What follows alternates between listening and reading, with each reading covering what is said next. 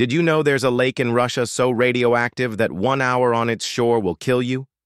Lake Karachay looks completely harmless, a small, quiet body of water nestled in the Ural Mountains.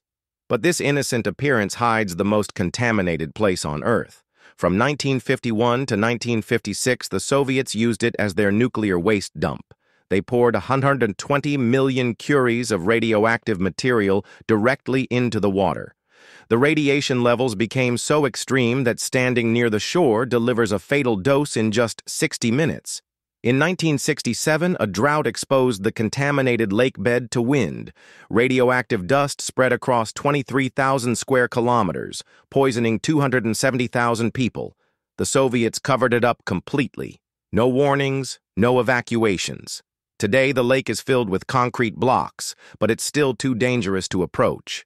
The surrounding area remains a dead zone decades later, a small lake that became humanity's most toxic legacy.